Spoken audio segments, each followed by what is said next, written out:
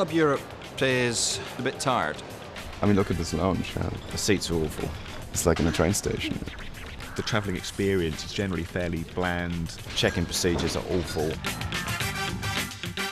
I think it just looks really tired. It's not very bright. Sometimes I wonder if there's much difference between the traveller section to the club section. From a food point of view, it's not okay. It's more like a bus journey. I mean, it doesn't really say anything particularly British. It doesn't say anything particularly European to me. We're a premium airline and we can't afford to be anywhere else. We need to get our market share back. Competitors are out there providing slicker and more efficient products than we are, and we really need to come back and address this. We're working with the two of the best design teams in the world. We're bringing together unique skills. We've never done this before at such an early stage.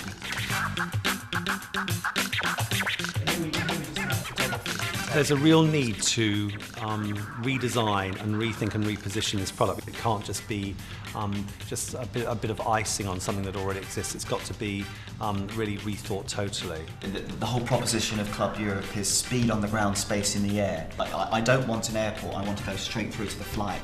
That kind of speed, efficiency and simplicity is terribly important. They just want simple things. I think customers now are looking for value. They're looking for schedule and frequency and then they're looking for value.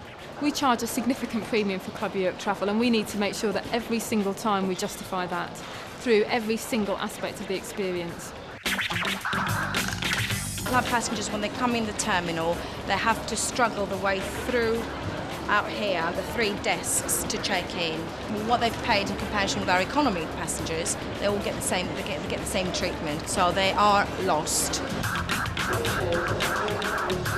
there should be a complete separate check-in for club passengers, a more quiet area, which probably would be the south forward, which is the end desks. It's walking through that incredibly hectic terminal and suddenly being aware of this very sort of calm, serene presentation of Club Europe. It's very much to give you, give you a sense of go in, check in, and straight through this tunnel here to arrive at the lounges.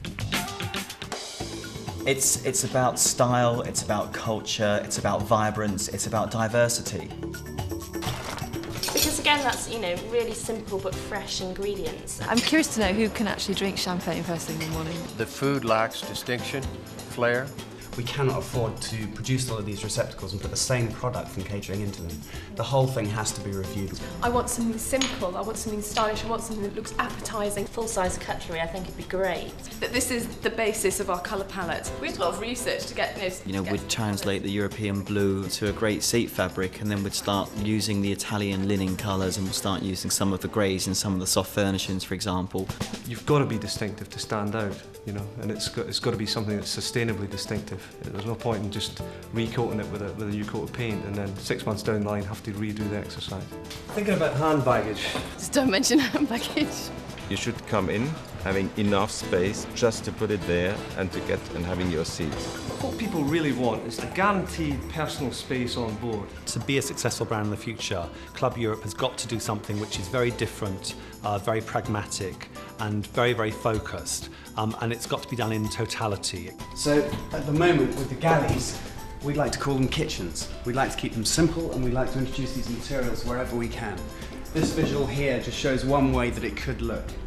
Well, if you look at the aircraft architecture at the moment, you, you know, it's a lot of um, beige plastic hard interiors. What we want to do is fundamentally change that, you know, rethink it completely.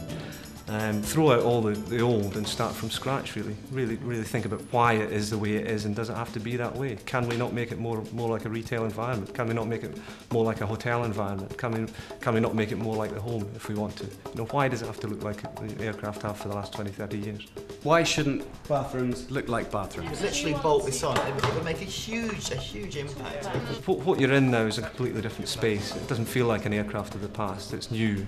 Making it much more simple much more you know clean it up. There's been some of the most exciting original ideas that we've seen for a very, very long time. We're looking at treating short haul in a very, very different way. And some of the ideas we're looking at for Europe are real firsts, and frankly, they're things that are going to be quite difficult to do. I think we're going to take some risks, but we will change the face of the way people travel short haul.